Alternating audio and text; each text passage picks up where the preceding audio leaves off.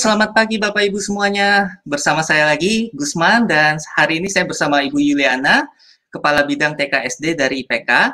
Uh, eh, hari ini kita akan membahas ragam penilaian online untuk pembelajaran jarak jauh. Nah, Bapak Ibu sekalian yang sudah melakukan PJJ, uh, eh, siapa nih yang uh, mulai bosen penilaiannya itu-itu aja. Nah, hari ini sesi kita khusus untuk membahas ragam penilaian online untuk pembelajaran jarak jauh. Jadi ada berbagai jenis penilaian online yang bisa kita manfaatkan mulai dari TK, SD, SMP, SMA, dan bahkan sampai perguruan tinggi. Jadi untuk pemanfaatannya, mari kita simak untuk Bu Yuliana. Bu Yuliana boleh di next slide. Oke, okay. untuk Indonesia Ed Webinar bersama Revo, adalah serangkaian webinar yang diadakan secara online dan gratis untuk membantu guru, orang tua, dan siswa dalam membangun kepercayaan terhadap teknologi dan keahlian memasuki masa depan di era normal baru.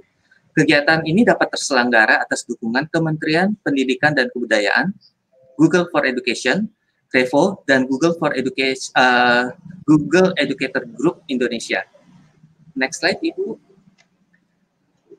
Kegiatan ini berkolaborasi dengan berbagai sekolah seperti SMA Katolik Korjesu, Sekolah Putri Al Istiqamah, IPK, Lazuardi Alfala, Relawan TIK, SMPA Raffi Drajat, SMPN Bekasi, uh, Lilin Bangsa, SMA 1 Playen, SMAK 1 Penabur Jakarta, Bangun Kota, Grom, dan Relief. Kegiatan ini juga terselenggara dan didukung oleh berbagai organisasi seperti yang Bapak Ibu bisa lihat di sini dan list untuk uh, pendukungnya makin bertambah makin banyak makin banyak. Oke, boleh di next Ibu.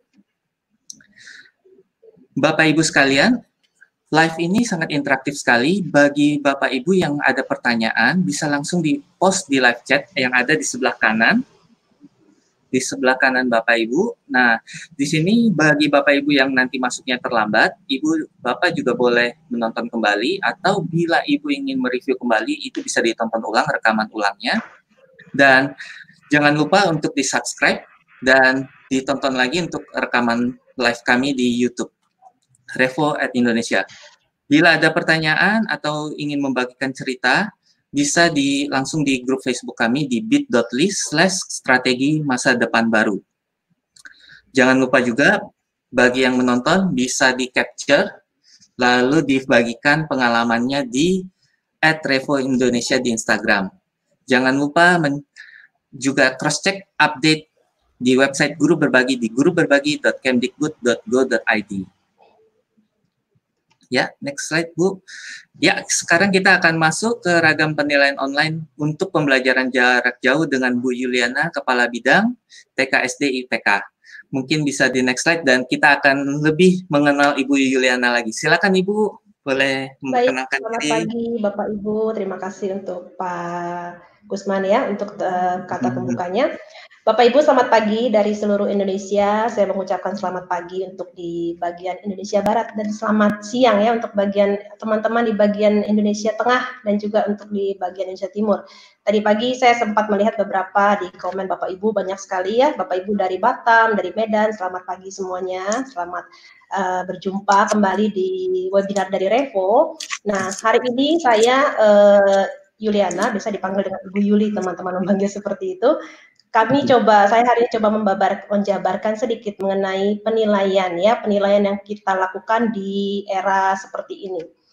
Bapak dan Ibu seperti yang kita sudah ketahui bahwa semua negara ya, semua negara bukan hanya di Indonesia kita ini terutama di bidang uh, pendidikan sedang berjibaku ya. Kita berubah mulai dari cara-cara kita yang konvensional, kita uh, bertemu secara tatap muka dengan anak-anak di uh, sekolah, kemudian kita beralih ke rumah. Kemarin kita tiga bulan selama di rumah kita juga sudah mencoba berbagai macam cara bagaimana tetap pembelajaran itu, pendidikan itu harus tetap berlangsung dalam kondisi apa pun, dalam situasi sesulit apa pun. Sehingga dari tiga bulan kemarin, eh, Bapak, Ibu, dan saya, kita akan banyak belajar sekali untuk mengeksplorasi berbagai hal. Mulai dari pembelajaran yang otentik seperti apa, kemudian anak-anak dikenalkan dengan berbagai macam pembelajaran bagaimana medianya, sampai dengan akhirnya kita berpikir bahwa uh, bagaimana menyelenggarakan sebuah penilaian dalam situasi seperti ini ya. Nah, di samping itu Bapak dan Ibu yang harus kita ketahui bersama bahwa digital citizenship itu sangat penting. Di era seperti ini, mau tidak mau, anak-anak itu harus dikenalkan dengan digital citizenship apa itu digital citizenship nanti Bapak Ibu bisa explore lebih lagi. Di dalam digital citizenship itu kita juga harus me, apa ya membiasakan anak untuk menjadi warga digital yang baik. Baik anak, baik guru, baik orang tua maupun seluruh stakeholder sekolah itu semua harus mempunyai etika, harus mempunyai uh, perilaku sebagai warga digital yang baik, yang penuh integrasi, yang penuh dengan kejujuran, penuh dengan etiket dan sebagainya. Kenapa? Karena di era globalisasi seperti ini, di masa-masa kita tidak bisa bertemu dengan langsung, saya rasa kejujuran itu perlu masih tetap dijunjung tinggi ya. Artinya apa pun yang kita berikan secara online seperti ini, kita secara manusia pasti terbatas, dengan peralatan juga terbatas, kita tidak mungkin melihat anak-anak secara langsung. Artinya ketika mereka mengerjakan sesuatu yang kita berikan secara online, bagaimana tanggung jawab mereka? Nah itu semua adalah bagian digital, digital citizenship yang harus Bapak Ibu eh, dan saya dan seluruh eh, guru-guru di Indonesia harus mulai mengenal itu dan anak-anak harus dimulai dimasukkan ke dalam uh, kurikulum Bapak dan Ibu. Kemudian untuk uh, sekarang Bapak dan Ibu, saya minta Bapak Ibu kalau mempunyai gadget dan uh, handphone ataupun mungkin dengan laptop Bapak Ibu, mari Bapak Ibu hmm. kita masuk ke menti.com. Ayo Bapak, Bapak Ibu, Ibu, kita tunggu. Menti.com. Masuk ke menti.com, silakan ya Bapak Ibu, silakan masuk ke www.menti.com. Kemudian Bapak Ibu masukkan kode 469599. 99. Ya, Bapak Ibu silahkan masuk ke menti.com, kemudian masukkan kode 469599. Jadi hari ini kita akan lebih banyak interaktif, saya dan Bapak dan Ibu di mana pun berada kita akan melakukan sesuatu hal yang lebih interaktif. Jadi Bapak dan Ibu, bukan hanya saya yang berbicara, Bapak Ibu punya ide silakan ya. Kita chat di apa tadi di kolom chat ya tadi Pak Gusman ya. Kolom chat silakan memberikan ide. Teman-teman ini kita saya rasa juga dari seluruh penjuru Indonesia ini penuh dengan pengalaman eksplorasi yang luar biasa ya. Hanya kebetulan saya yang duduk di sini gitu ya. Teman-teman pasti bisa semua. Baik, kita masuk ke menti.com, kita akan lihat Bapak dan Ibu ini ya sambil nunggu ya. teman-teman ya. masuk ke menti.com. Ya. Menti.com ini apa ya Bu ya? Menti.com ini sejenis untuk aplikasi seperti tools ya. Bapak Ibu bisa melakukan kuis di sana. Nah, ini sudah banyak nih teman-teman yang masukkan jawaban-jawaban nah, interaksi mereka ya. Nah, ini adalah salah satu bentuk interaksi. Ketika kita melakukan Google Meet dengan anak-anak, melakukan uh, tatap muka ya, Bagaimana anak-anak lebih interaktif? Nah, ini salah satunya ya. Jadi kita tidak satu uh, seperti yang kita ketahui, guru adalah fasilitator ya. ya jadi anak-anak diajak interaktif baik. Banyak sekali nih pertanyaannya sudah masuk semua. Menurut Anda, mengapa Anda melakukan penilaian untuk mengukur hasil belajar ya, untuk konfirmasi, untuk mengetahui uh, Nah ini terus jawaban terus masuk terus masuk nih. Mengetahui kemampuan suatu wah, hal dari murid, belajar terus, kemudian untuk evaluasi, untuk mengukur kemampuan siswa, kemudian me, untuk mengukur ketercapaian kompetensi peserta didik, assessing kemampuan anak, mengetahui sejauh mana perkembangan belajar anak, wah luar biasa sekali. Wah, wah, Betul wah. sekali, jawabannya tidak ada yang salah nih Pak Gusman, semua wah, wah luar biasa ya. Dari awal aja udah banget nih Ya, silakan ya Bapak Ibu masukkan semua jawabannya, apa yang Bapak Ibu pikirkan, mengapa Anda melakukan penilaian, untuk apa Anda menilai ya. Anda sebagai seorang kacamata guru, kenapa kita harus melakukan penilaian? Mengukur kemampuan siswa, untuk mengukur uh, kemampuan murid sampai sejauh mana ia mengerti, mengukur kompetensi agar mengetahui apakah tujuan sudah tercapai, betul sekali, untuk mengetahui sejauh mana anak uh, sudah menguasai materi, pembelajaran, mengetahui hasil pembelajaran dan sebagainya. Baik, terima kasih Bapak dan Ibu, cukup cukup interaktif ya. Saya akan kembali ke slide saya. Uh, Bapak dan Ibu, seperti yang sudah kita ketahui ya, kalau misalnya uh, kita melakukan sebuah penilaian itu sangat menjadi penting karena ketika kita menilai berarti kita juga melakukan suatu proses. Proses apa? Kita mengumpulkan. Mengumpulkan kemudian bukan hanya mengumpulkan. Setelah kita mengumpulkan, kita harus mengolah, mengolah informasi seperti apa yang uh, sudah kita dapatkan dari penilaian itu. Kenapa? Karena informasi itu sangat penting sekali untuk Bapak dan Ibu sebagai guru, tetapi juga penting untuk anak. Ya, jangan dilupakan satu hal bahwa anak pun harus mendapatkan feedback sejauh mana mereka sudah menguasai materi tersebut. Jadi Bapak Ibu ketika melakukan penilaian ingat ingat kembali bahwa penilaian itu penting untuk sebagai uh, feedback untuk anak. Jadi bukan hanya sekedar nilai ya, bukan sekedar angka, tetapi anak perlu suatu seperti apresiasi, seperti feedback di mana kelemahan anak tersebut, di mana anak itu harus uh, menggali lebih dalam lagi secara keilmuannya. Kemudian Bapak dan Ibu juga harus menganalisis seluruh uh, uh, informasi yang sudah diberikan, uh, sudah didapatkan dari hasil anak dan kemudian jangan lupa ya serangkaian kegiatan untuk memperoleh, menganalisis, dan menafsirkan data tentang proses tersebut dan hasil belajar murid, Bapak Ibu juga jangan melupakan yang namanya prinsip penilaian. Ya, ada prinsip-prinsip penilaian yang harus menjadi uh, apa ya, menjadi panduan Bapak dan Ibu sehingga informasi yang Bapak Ibu terima ini menjadi bermakna dan Bapak Ibu berguna untuk mengambil keputusan lebih lanjut. Nah, Bapak dan Ibu, mari kita lanjut lagi ke Sokratif. Nah, Bapak Ibu mungkin sudah pernah mengenal Sokratif. Silakan nah. masukkan Sokratif, masuk ke laman sokratif.com ya. Bapak Ibu pilih sebagai student. Pilihlah sebagai student. Bapak Ibu masuk ke Sokratif, sokratif.com. Kemudian pilihlah loginnya sebagai student. Ya, silakan masukkan sokratif.com, kemudian login sebagai student tampilannya internet apa ya, ya Sokratif itu? Ya, ini Sokratif ini juga media yang hmm. sangat interaktif sekali. Bapak dan Ibu silakan masukkan uh, classroomnya itu Yuliana 4533. Yuliana 4533. Yuliana huruf besar semua. Silakan masukkan Yuliana 4533. Yuliana 4533. Kemudian Wah, sudah ada saya akan orang ya, Bu ya. Baik, baik sekali. Saya akan memberikan pertanyaan Sebutkan salah satu prinsip penilaian yang Anda ketahui. Sudah ada yang masuk Bapak Ibu? Silakan kalau belum. Silakan Bapak dan Ibu masuk ke sokratif.com. Yuliana 4533. Kita akan melihat sudah ada 11 orang ya. Kita silakan Bapak dan Ibu masukkan jawabannya valid. Sudah ada yang masukin. Prinsip penilaian yang Anda ketahui Wah, salah satunya valid. Apalagi Bapak dan Ibu. Silakan coba selama ini Bapak Ibu mungkin belum terlupakan ya kita selama ini tiga bulan sibuk mencari aplikasi-aplikasi untuk pembelajaran. Namun hmm. kita harus tetap ingat bahwa penilaian itu punya prinsip. Prinsip yang bagaimana? Nah silakan Bapak Ibu masukkan. Objektif, valid, adil. Yuli, ya. Yuli. Ya, ya uh, silakan Pak. Ada yang bilang terlalu cepat Bu, boleh di. Oh terlalu cepat. Uh, Baik. Okay. Uh, Mungkin yang masih terlambat uh, bisa Silakan. coba buka di sokratif.com lalu yeah. masukkan Yuliana 4533. Semuanya huruf kapital yeah. dan disambung semua. Wah, yeah. banyak banget yang udah isi ya, Bu ya? Banyak, Wah, Pak. coba pas yeah. pas PJJ dulu saya tahu Sokratif ini, Bu. Wah, ini pasti lebih menarik nih anak-anak Ini menarik anak-anak.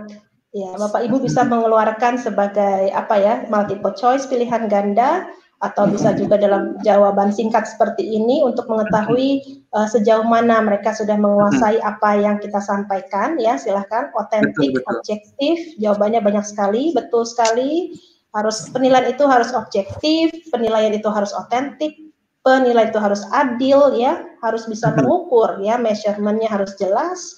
Kemudian harus uh, apalagi nih penilaian pengetahuan menyeluruh harus valid ya harus bisa harus valid harus objektif adil konstruktif aktual. Wah luar biasa ini teman-teman nih.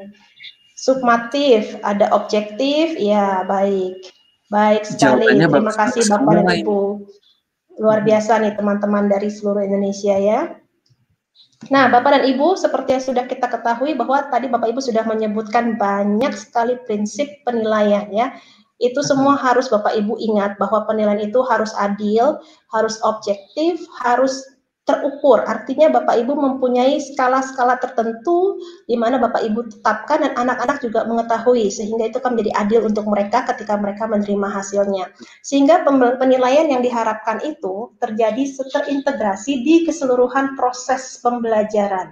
Ya, jadi penilaian itu secara hakikat tidak terpisah, ya, tidak terpisah. Artinya penilaian itu harus terintegrasi. Penilaian terintegrasi seperti apa? Nah, Bapak Ibu sudah mengetahui bahwa kita sebagai seorang guru memiliki uh, sesuatu tanggung jawab di mana kita harus merencanakan pembelajaran kita dengan sangat komprehensif melalui RPP. Nah, kita sudah di uh, di era Mas Menteri ini kita mempunyai SE uh, dari Kemdikbud ya nomor uh, 14 tahun 2019 kalau saya tidak salah ingat itu mengenai RPP yang disederhanakan. Hanya ada tiga unsur di sana yaitu tujuan pembelajaran, kegiatan pembelajaran dan yang terakhir adalah evaluasi ya evaluasi penilaian.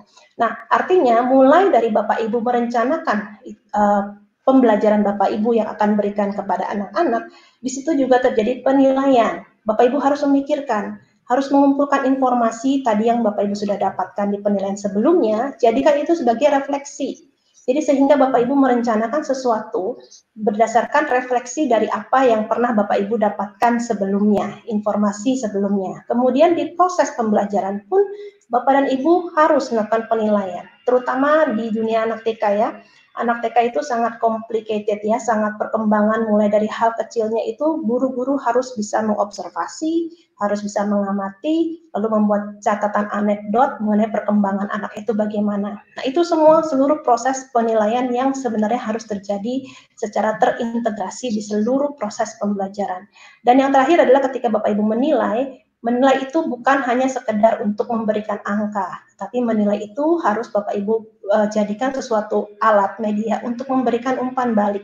Anak pun harus mengetahui bagaimana hasil prestasinya, apa yang sudah dia pelajari, kemudian bisa jadi itu akan jadi bahan refleksi Bapak Ibu di kemudian apakah strategi Bapak Ibu itu sudah benar atau belum. Jadi kita kembali lagi ke refleksi strategi yang sudah kita lakukan itu benar atau tidak ya. Jika dalam proses itu mungkin uh, di awal Bapak Ibu bisa brainstorming anak-anak melihat oh anak-anak saya sudah ternyata mempunyai uh, pengetahuan yang sudah lebih baik. Kemudian Bapak Ibu melakukan observasi sampai dengan akhirnya Bapak Ibu melakukan penilaian. Keseluruhan itu semua harus terjadi penilaian. Jadi penilaian itu bukan hanya terakhir tetapi di seluruh proses pembelajaran harusnya sudah terjadi penilaian Kemudian Bapak dan Ibu, saya akan masuk ke sebuah ilustrasi. Di sebuah ilustrasi ini, Bapak dan Ibu bisa melihat sebuah restoran ya. Ada koki, ada customernya yang sedang uh, makan begitu ya. Nah, seorang koki di restoran ini dia harus mencicipi makanannya. Betul ya? Dia harus mencicipi makanannya sebelum masakannya itu disajikan di hadapan seorang customer. Customer pun demikian, dia akan mencicipi makanannya. Nah, Bapak dan Ibu, silahkan masukkan di kolom chat sebelah kanan Bapak dan Ibu, ya. Uh, di dalam hal mencicipi makanan, kita bicara makanan ya, mudah-mudahan sudah pada makan semua nih. Dalam hal mencicipi makanan, apakah si koki dan si customer ini memiliki tujuan yang sama? Coba Bapak Ibu pikirkan situasinya di restoran. Silahkan tuliskan ya atau tidak dalam hal mencicipi makanan ya. Jadi kokinya mencicipi, customernya mencicipi. Dua orang ini sama-sama mencicipi makanan, ya, sama-sama mencicipi makanan yang sama, contohnya. Nah, dalam hal mencicipi ini, apakah tujuan mereka berdua itu sama atau berbeda, ya atau tidak? Silakan Bapak dan Ibu masukkan pendapat Bapak Ibu. Ayo, Bapak Ibu. Kira-kira apakah sama? Kira-kira sama nggak ya? Tujuannya mencicipi makanan. Kita Boleh bicara mencicipi makanan. Ya atau tidak? Iya atau tidak Bapak dan Ibu? Sama, ada yang, ada bilang, yang bilang iya, sama. ada yang bilang tidak, Bu. Ada yang bilang tidak, ada yang bilang sama. Baik, ada yang bilang iya.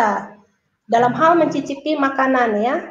Coba Pak Gusman, bagaimana responnya? Ada yang bilang hmm. sama? Sama ya, Pak?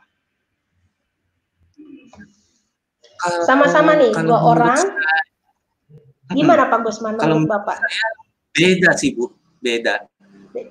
Karena beda dalam hal mencicipi makanan ya. Beda beda beda. Karena kalau misalnya hmm. saya jadi koki kan saya istilahnya saya mau uh, sampai kira-kira udah perfect belum ya sampai ini sesuai dengan uh, lidah saya. Tapi kalau untuk uh, yang makan mungkin dia sesuai dengan mereka tapi mereka lebih menikmati kalau misalnya si kokinya kan dia cobain tapi apakah hmm. sudah sampai standar tertentu gitu. Hmm, baik baik. Ya, jadi teman-teman yang bilang sama dalam hal mencicipi, kita mencicipi masakan. Si koki pun mencicipi sebelum disajikan.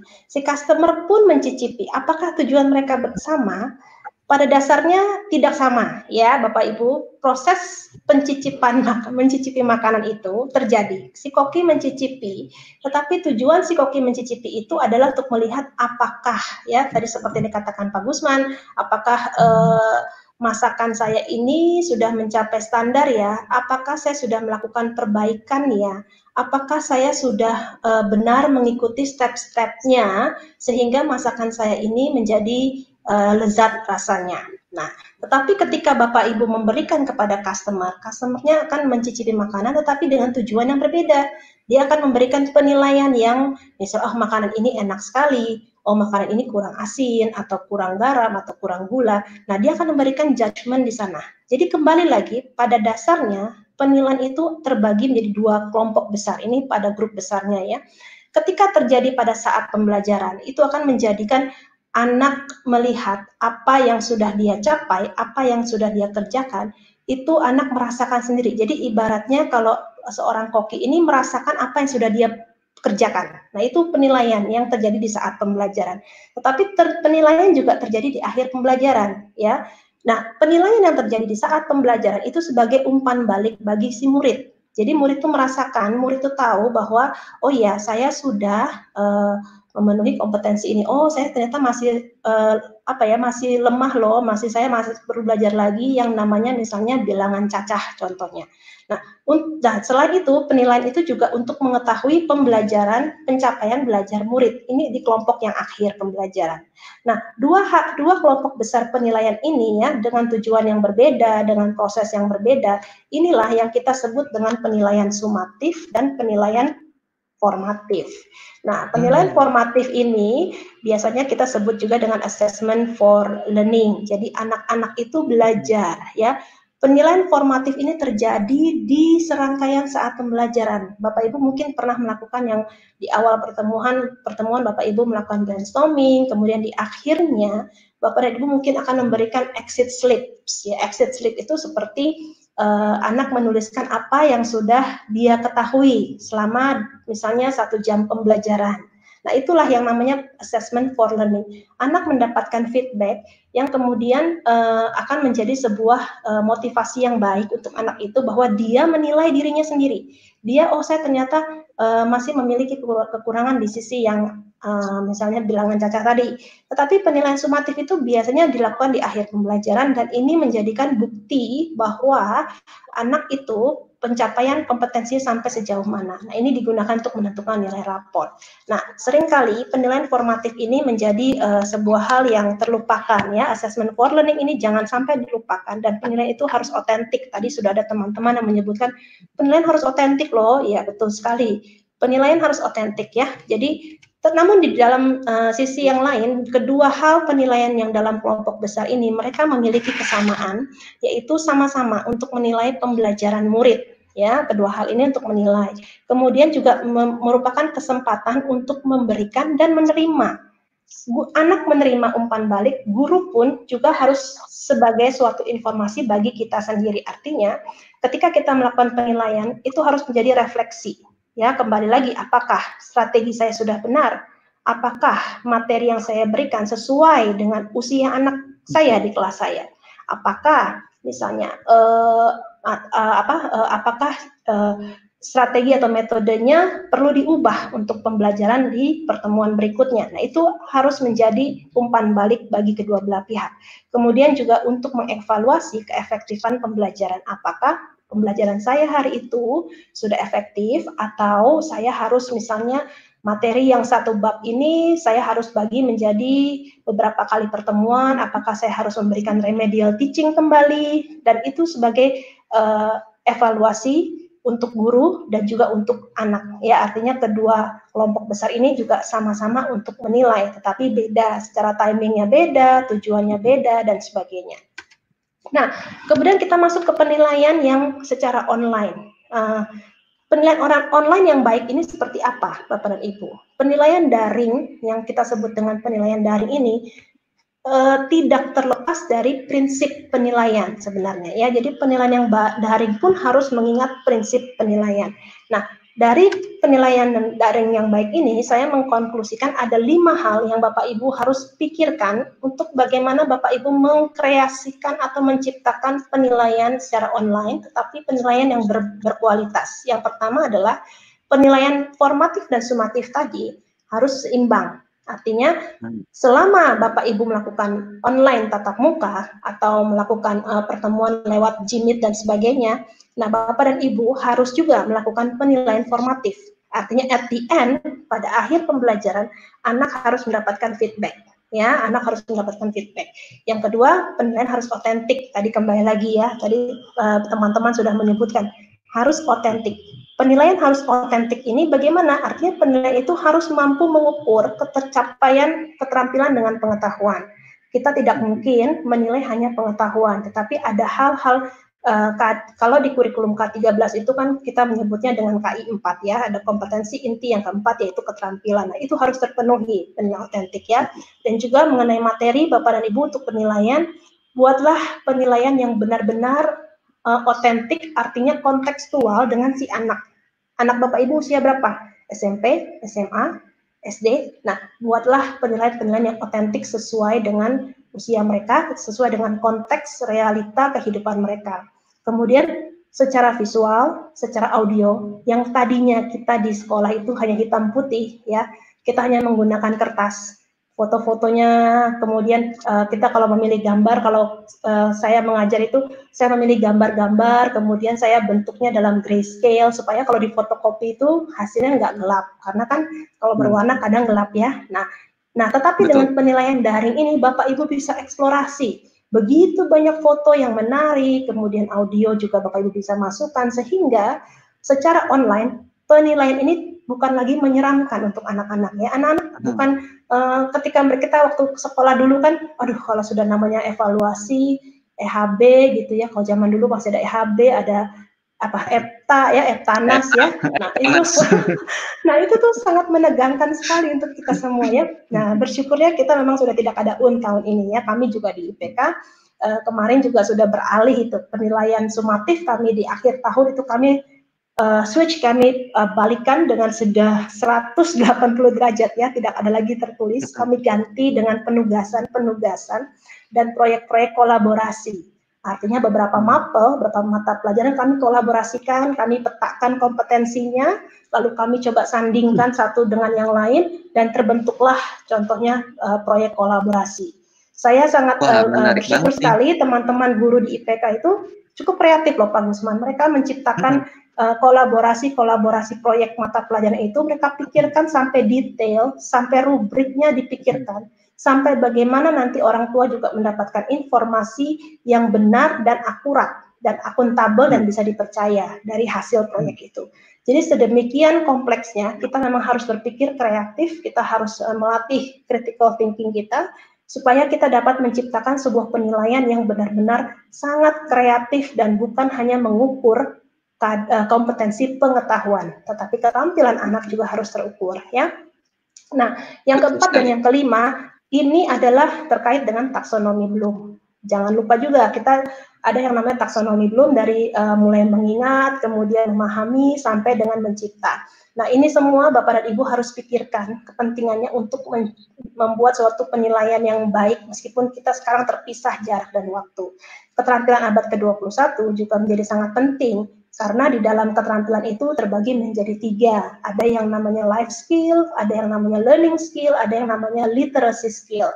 Nah, di dalam uh, learning skill kita mengetahui yang namanya 4C, ya ada kolaborasi, ada komunikasi, kemudian ada uh, critical thinking dan ada kreativitasnya.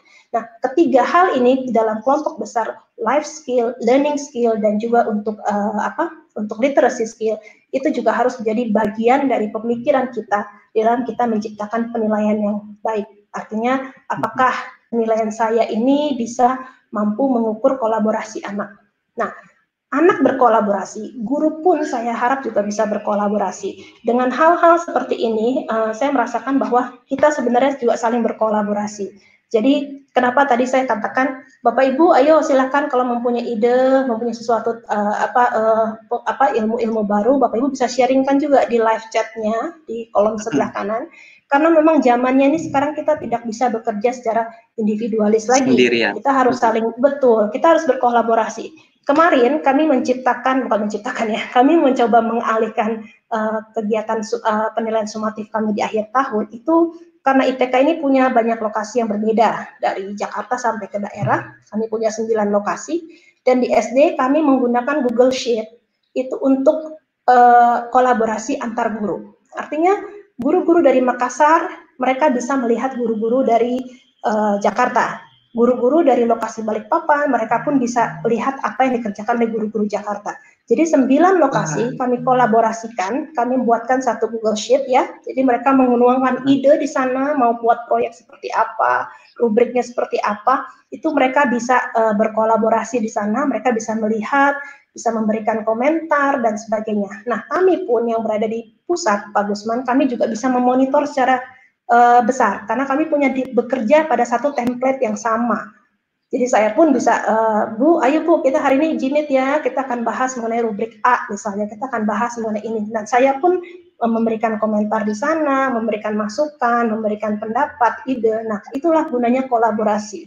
Ingat bahwa uh, di, di era seperti ini tidak lagi yang namanya saya bisa, tetapi lebih kepada kami bisa. Ya, jadi kita harus kolaborasi, kita harus mampu uh, menuangkan kolaborasi ini bagaimana anak kita juga bisa berkolaborasi. Nah, itu penting sekali karena mereka itu uh, hidup nanti di zaman 10 20 20 tahun lagi yang mungkin sangat berbeda dengan hari ini ya. Di zaman mereka mungkin kolaborasi menjadi bagian yang krusial, menjadi bagian yang sangat penting untuk kehidupan mereka. Nah, ini yang harus kita tanamkan dari anak-anak mulai usia dini. Nah, berikutnya adalah kita akan masuk ke ragam penilaian daring ya. Nah, di dalam penilaian daring ini, Bapak dan Ibu, seperti biasa, kita pasti menemukan yang namanya uh, pilihan berganda, ya. Pilihan berganda kalau zaman kita dulu itu kan ada yang dengan paper paper base ya, kita memilih uh, pilihan ganda dari A, B, C, D dan sebagainya. Nah, pilihan ganda ini pun bisa kita aplikasikan di penilaian daring, ya. Nah, pertanyaannya pun bervariasi, bisa mulai dari C1 sampai dengan C6. Ini untuk uh, pilihan berganda. Nah, keuntungan dari pilihan berganda ini adalah uh, mudah untuk penerapannya, khususnya untuk murid dengan kemampuan menulis yang rendah. Nah, di sini kita dapat menilai, mengukur dengan pilihan berganda. Kemudian bagaimana dengan true and false, benar atau salah, ini pun bisa kita aplikasikan di penilaian online. Ya, artinya eh, anak-anak harus menganalisa ada dua jawaban yang kemungkinan benar. Mereka harus melatih uh, daya pikir mereka untuk uh, memilih salah satu jawaban yang paling benar. Nah, ini pun apa untuk uh, pilihan berganda, uh, untuk uh, true and false ini untuk di penilaian online juga bisa dilakukan. Kemudian bagaimana dengan jawaban-jawaban singkat? Nah, biasanya kalau uh, di bahasa Inggris uh, biasanya kan ada fill in the gaps ya antara reading kemudian anak-anak uh, harus memilih jawaban yang tepat satu kata untuk melengkapi kalimat. Nah ini pun bisa dilakukan di, di online ya bisa dilakukan dilakukan di online. Nah tapi Bapak Ibu kelemahannya ketika kita melakukan short answers ini di online terkadang karena uh, aplikasi atau tools yang kita gunakan ini kan mendeteksi jawaban yang benar Benarnya hmm. contohnya jawabannya adalah uh, harusnya kemerdekaan misalnya.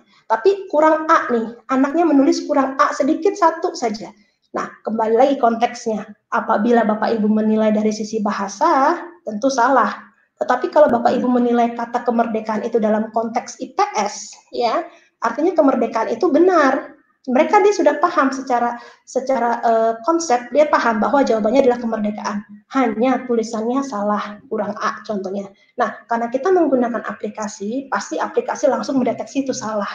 Nah saran hmm. saya kalau bapak ibu memberikan jawaban singkat seperti ini di, di penilaian online sal, uh, cobalah review kembali jawaban anak lihatlah dan lalu membuat justifikasi yang baru Artinya apakah akan dibenarkan jawaban itu atau salah. Nah, ini kelemahannya kalau untuk uh, jawaban singkat tetapi secara online ya.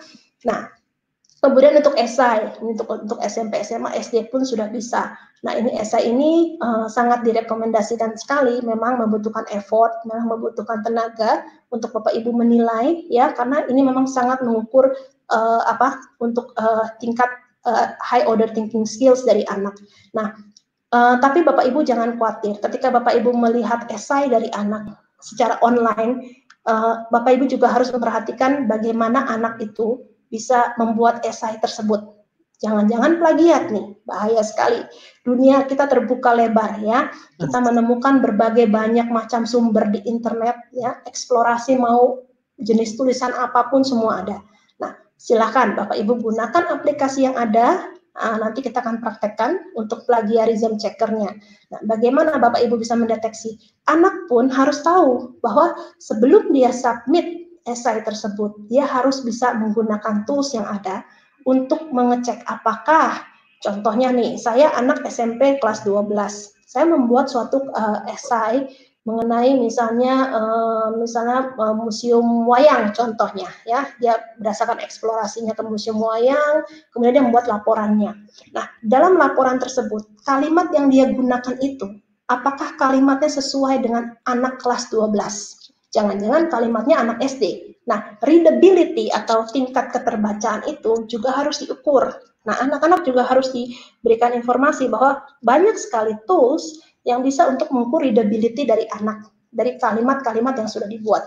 Nah, guru pun juga bisa menggunakan tools tersebut untuk melihat readability dari kemampuan anak dalam membuat esai, ya.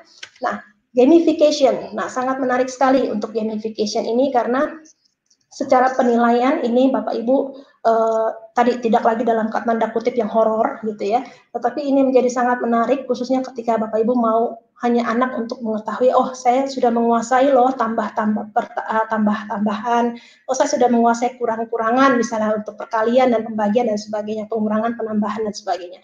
Nah, ini gamification bisa diadopsi karena dia hanya mengenakan konsep untuk uh, pencapaian level tertentu ya. Dia tidak ada uh, apa tidak ada uh, judgement ya. Artinya tidak ada penalti atau tidak ada hukuman. Nah ini hanya membuat untuk anak-anak belajar tetapi dalam uh, online tetapi yang menyenangkan. Ini gamification sangat menarik sekali.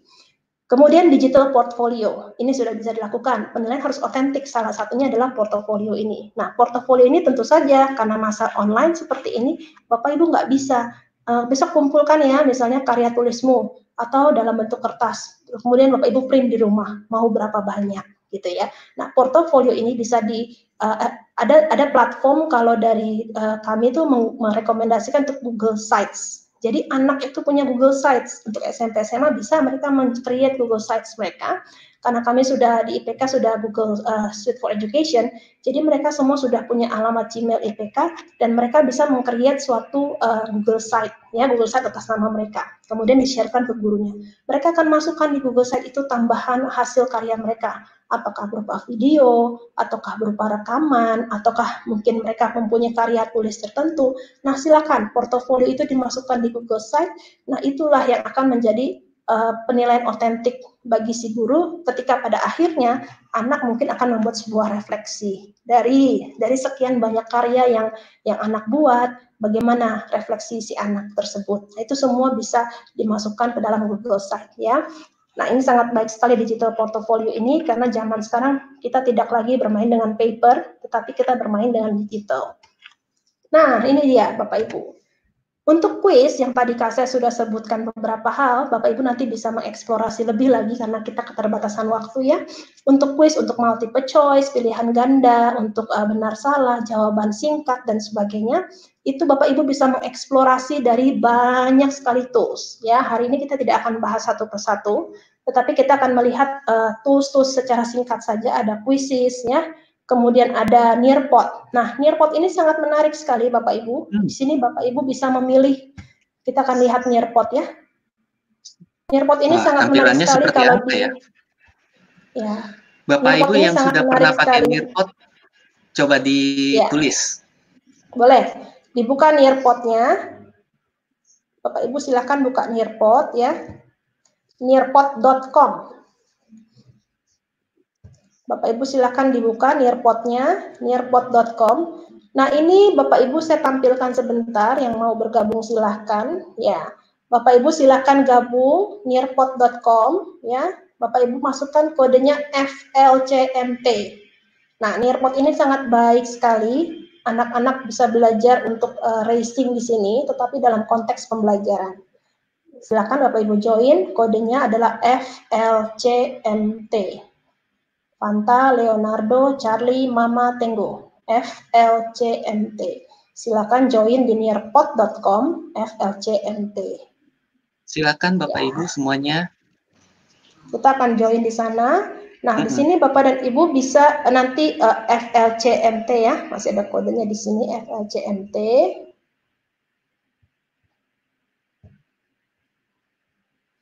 Nah, uh, di Nearpod ini sangat menarik karena dia akan uh, belajar uh, Bapak Ibu bisa melihat. Nah, ini time to climb.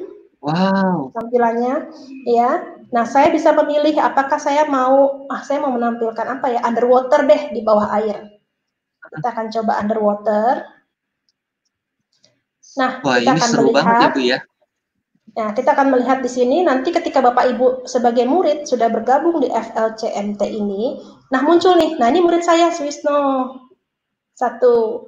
Nah, nanti Bapak Ibu bisa muncul lagi muridnya di sini. Nah, di sini nanti kita akan memberikan banyak pertanyaan. Bisa kita mulai pertanyaannya dengan klik start. Bapak Ibu sudah rancang pertanyaan-pertanyaan yang menarik untuk anak-anak. Anak-anak belajar racing di sini. Nah, tadi kalau ada nah Muhammad Ihrom, baik terima kasih Bapak sudah masuk bergabung Neopod. Nah, di sini kita akan racing, kita akan balapan, bukan balapan ya. Nah, gorit ya. Nah, ini maksimum 40. Nah, kita coba masuk di Nearpod. Kita akan start dengan hmm. jawaban-jawaban Bapak dan Ibu. Ini ada racing ya. Nah, silakan. Pada penilaian formatif, maka hanya guru yang akan mengetahui bagian atau kompetensi yang sudah ini benar atau salah. Nah, nanti Bapak Ibu racing di sini akan muncul poin-poinnya hmm. dan kita akan melihat siapa saja yang nanti menjadi uh, juaranya. Dan detiknya pun bisa Bapak Ibu batasi. Satu pertanyaan mau berapa detik? 20 detik, 10 detik, dan seterusnya. Wah. Wow. Nah. Ya. Ini model ini kayak kahut ya Bu ya?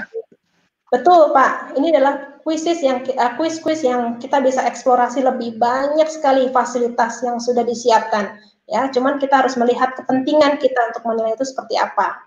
Nah ini banyak sekali nih ya. Ada Pak Ari Buhana berarti sebenarnya uh, untuk uh, membuat online assessment yang menarik itu sebenarnya ada banyak sekali situsnya ya tinggal kita explore aja ya.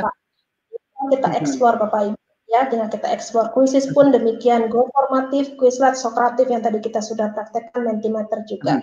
nah gamification juga sama bapak ibu sudah tersedia ini saya uh, apa room research ini untuk matematika untuk games matematika anak ya bisa dari kelas uh, TK hmm. ya kelas TK B sampai dengan kelas 6 hmm. nah ini kita bisa racing juga di sini melakukan racing tetapi yang positif ya Nah, ini pertanyaan-pertanyaan contoh comparing numbers ya, kita balapan di uh, jalanan, kemudian ada math facts ini ada tambahan penam, apa tambah dan jumlah penjumlahan dan perkalian, kemudian ada pengurangan, kita bisa math trace di sini ya, anak-anak masuk ke sini. Nah, ini gamification yang yang memang sudah tersedia ya. Pastilah guru-guru juga uh, siapa tahu ada guru-guru komputer nanti menciptakan suatu mm-hmm. apa uh, gamification baru, ya itu luar biasa sekali bisa di-sharingkan mungkin ya. Nah, kemudian ada Play Brighter. Play Brighter juga sangat menarik untuk anak-anak ya.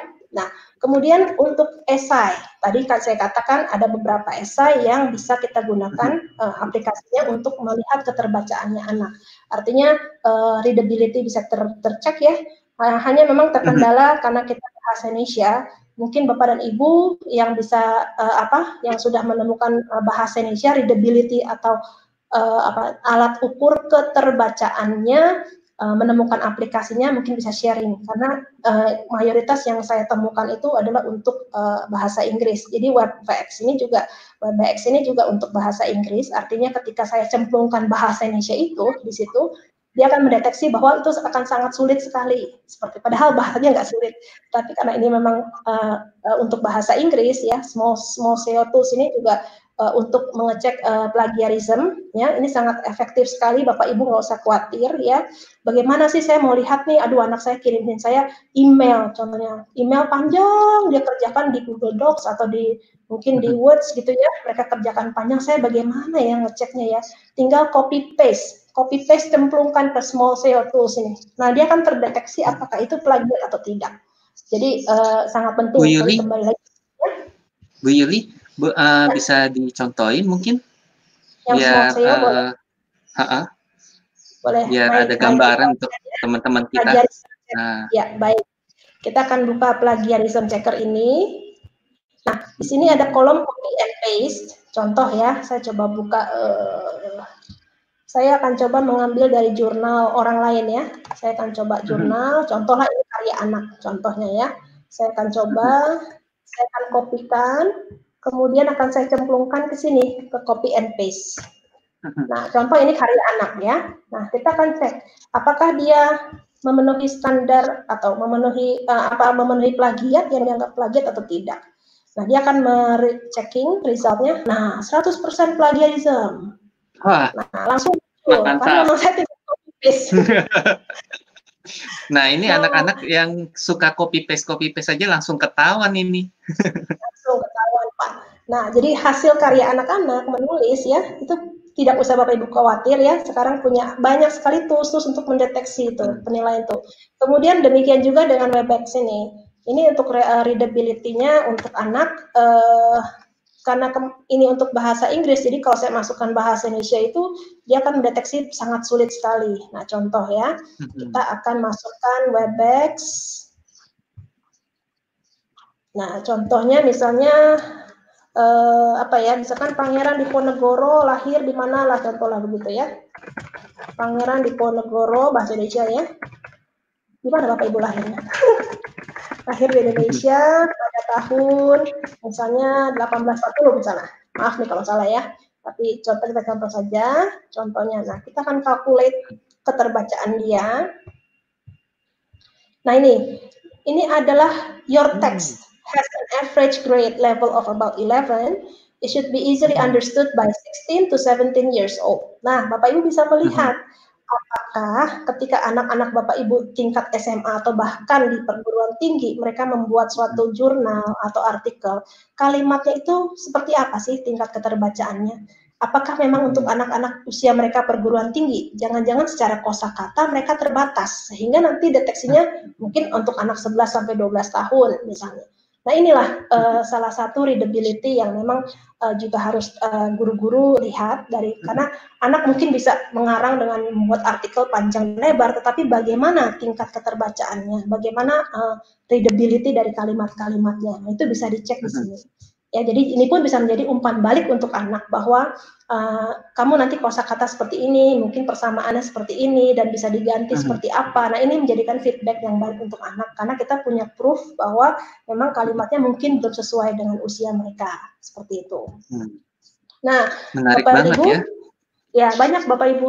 Nah, kemudian untuk uh, yang terpenting adalah ketika Bapak Ibu memilih tools ya dalam penilaian daring ini, tentukan tujuan Bapak Ibu apa tujuan Bapak Ibu untuk menilai? Apakah untuk memberikan umpan balik ataukah Bapak Ibu mau memberikan penilaian sumatif ketika sudah menyelesaikan uh, beberapa kompetensi dasar, mau memberikan penilaian sumatif. Nah, carilah tools-tools yang memang uh, memang sesuai dengan usia anak juga ya. Artinya tidak mungkin kita berikan math trace tadi ke anak usia SMA. Nah, itu dipertimbangkan seperti itu. Tujuan akhirnya juga harus dipertimbangkan. Nah, kemudian lakukan research di zaman seperti ini Bapak Ibu kita tidak bisa berdiam diri. Ya setiap hari kita harus belajar. Setiap jam setiap menit kita harus terus eksplorasi. Bapak Ibu memiliki kesempatan waktu yang lebih. Misalnya silahkan eksplorasilah ya lakukan research. Apa teknologinya? Untuk apa teknologinya? Kemudian bagaimana cara kerjanya? Bagaimana gradingnya apakah berbayar atau tidak itu juga harus diperhatikan karena memang beberapa tools ada yang harus berbayar, ada yang free. Nah, itu Bapak Ibu lakukan research sebanyak-banyaknya. Nah, kemudian yang harus diperhatikan, kita sebagai guru itu bisa melakukan research sebanyak-banyaknya. Contoh, saya di SD, saya ini menguasai kuisis, saya bisa Kahoot, saya bisa uh, tadi apalagi Sokratif, saya bisa Mentimeter. Nah, dari lima tools yang saya uh, pahami, yang saya kuasai gitu ya, saya sebagai guru tidak mungkin memberikan lima-limanya ke anak. Kenapa? Karena anak saya usia SD. Anak usia SD itu pengetahuannya juga terbatas. Setiap aplikasi, setiap tools itu pasti butuh login. Nah, logiknya berbeda-beda kayak tadi ya, ada masukin ke join ke classroomnya, join code-nya hmm. sekian, nanti di Metimeter joinnya beda lagi.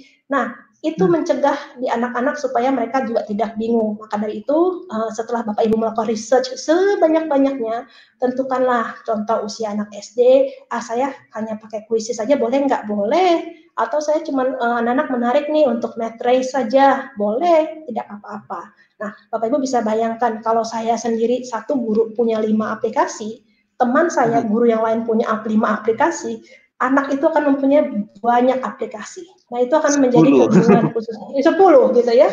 Dia setiap hari melewatin banyak hal gitu kan. Wah, hari ini saya belajar math pakai ini, saya baca bahasa pakai ini. Nah, itu lakukanlah research boleh, tetapi tentukan yang terbaik, sepakati bersama dengan hmm. kepala sekolah, dengan guru-guru yang lain, yuk kita mau pakai apa nih penilaiannya untuk menarik untuk anak-anak, untuk untuk penilaian hmm. formatif dan sumatifnya. Nah itu silakan dieksplor. Nah kemudian kita kembali apa lagi yang betul ke kita bisa, bukan saya bisa. Iya, kami bisa, kak kita bisa, bukannya saya bisa. Saya bisa, tapi belum tentu anak-anak bisa gitu ya. Nah, data apa yang dibutuhkan Bapak Ibu dan data itu juga sangat penting Bapak Ibu sebelum menentukan tools apa yang tersedia ini secara uh, banyak sekali data apa yang Bapak Ibu butuhkan itu menjadi pertimbangan untuk menentukan uh, toolsnya seperti itu Pak Gusman. Nah, Bapak Ibu sebelum uh, nanti kita masuk sesi pertanyaan ya, ada satu exit slip yang sebenarnya sangat menarik sekali Bapak dan Ibu bisa mudah-mudahan ini bisa. Exit slate ini biasanya Bapak Ibu lakukan di akhir ya, ketika akhir uh, join whiteboard class uh, sebentar ya. Ini ada namanya whiteboard fee dot fee. Nah, ini sangat uh, bagus sekali. Kalau misalnya room code-nya apa ya ini ya? Sebentar ya. Nah, ini coba saya explore whiteboard fee. Bapak Ibu bisa juga ikut ya. Whiteboard.v ini ini sangat menarik untuk anak-anak karena ini sangat interaktif hmm. sekali. Saya akan menciptakan kelas. Kelas saya misalnya Yuli. Wow. Juliana sudah ada sih, saya sudah menciptakan kelas sebenarnya. Kemudian di sini ada, Bapak Ibu bisa klik-klik di sini untuk enable. Saya akan menciptakan kelas. Create new class. Setelah saya menciptakan kelas, Bapak dan Ibu sebagai murid di, di luar sana, silahkan bergabung di whiteboard.v uh, visit seperti ini ya. Room code-nya masukkan ini. Room code-nya masukkan E9Z7G. E9Z7G. Silahkan masukkan room code-nya. Ini room code Bapak Ibu. E9Z7G. E9Z7G. Nah, ini silahkan masukkan kodenya setelah bergabung di whiteboard. Nah, Bapak dan Ibu, ini adalah whiteboard saya. Ketika saya menggambar apa pun di sini, Bapak Ibu yang sudah bergabung itu akan bisa melihat, ya, seperti apa uh, whiteboardnya saya. Nah, Bapak Ibu ini sangat menarik sekali untuk anak-anak ya. Bapak Ibu pasti di rumah, saya tuh ngajar pakai apa ya? Saya bingung nih, saya bertemu, bicara doang, tapi saya nggak punya medianya. Nah, ini bisa dimanfaatkan. Nah, saya pun bisa menuliskan kalimat di sini. Misalnya, silahkan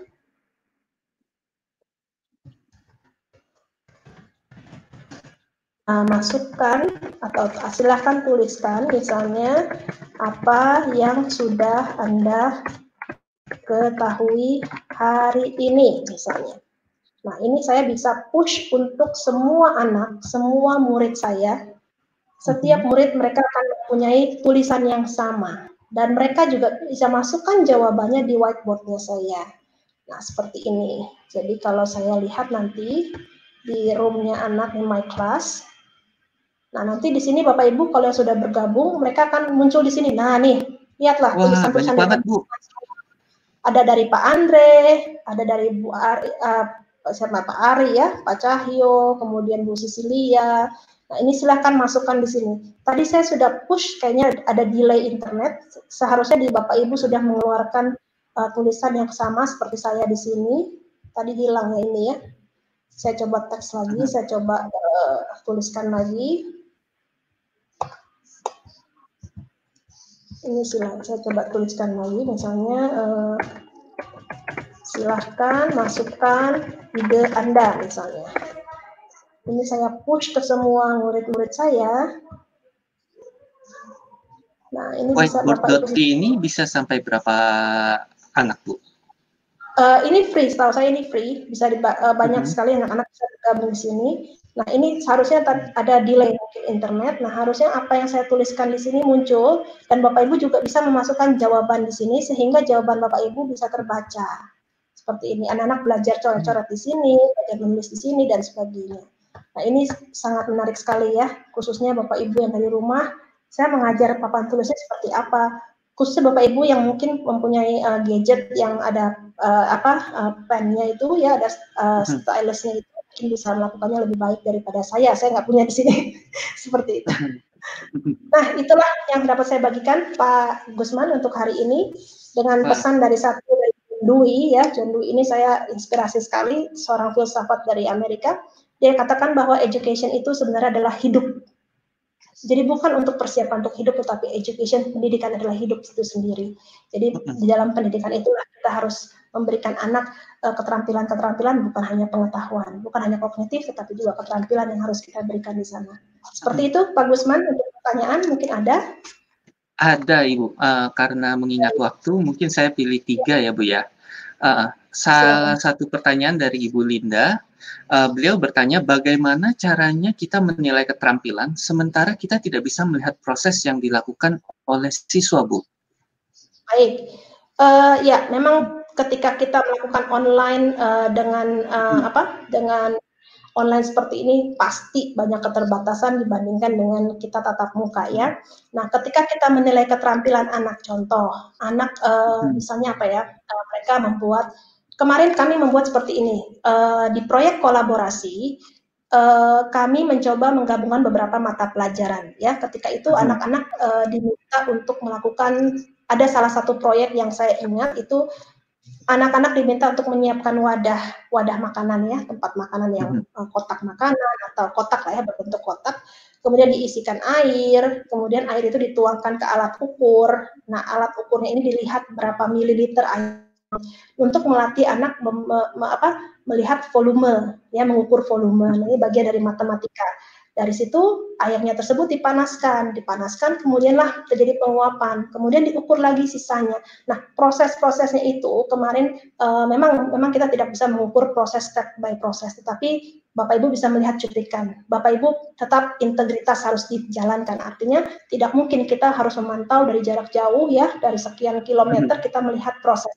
Nah, tanamkan kepada anak-anak integritas. Jadi lihatlah proses itu, melalui cuplikan-cuplikan anak-anak bisa membuat video atau anak-anak bisa membuat foto orang tua pun harus kita tanamkan integritas artinya di masa-masa seperti ini kami pun terbatas secara guru kami pun terbatas. Mm-hmm. Jadi mudah-mudahan dengan adanya fasilitas seperti uh, Google Site, anak-anak bisa upload portofolionya, bisa upload foto-foto dokumentasinya. Nah, mudah-mudahan itu bisa membantu uh, keterampilan uh, mengukur untuk keterampilan anak. Tetapi bukan hanya keterampilan, dari sisi itu juga bisa mengukur pengetahuannya sekaligus seperti itu. Oke, betul sekali. Mudah-mudahan sudah menjawab ya Ibu Linda. Yang kedua, pertanyaan dari Ibu Ita uh, beliau dari Aceh dan beliau juga mengajar untuk uh, anak usia dini. Nah, yang ini mungkin uh, beliau ingin minta untuk sharing bagaimana cara kita untuk menilai da, uh, penilaian daring untuk anak usia dini. Sepertinya ini yeah. untuk anak mereka ke bawah. Untuk uh, anak TK ya, baik. Uh, uh, anak TK. Uh, untuk anak TK, memang uh, ini menjadi dilema ya. Kami pun di Jakarta, saya yakin di seluruh pelosok gitu ya. Saya juga banyak beberapa teman guru kita diskusi dari sekolah lain. TK ini memang dilema, semua sekolah mengalami hal yang sama. Nah, apa yang Bapak Ibu bisa berikan sebagai guru kepada anak-anak? Tentunya anak-anak itu tidak bisa hadir ke sekolah dalam bentuk fisik ya. Nah, Bapak Ibu bisa membuatkan mereka seperti aktivitas-aktivitas yang sudah bertema, Bapak Ibu band, apa, uh, bandit jadi satu, kumpulkan, berikan kepada orang tua, buatkan bagaimana anak itu bisa sampai mencapai uh, tujuan akhirnya, apa yang harus orang tua bantu di rumah. Nah, penilaiannya observasi tentunya kalau anak TK.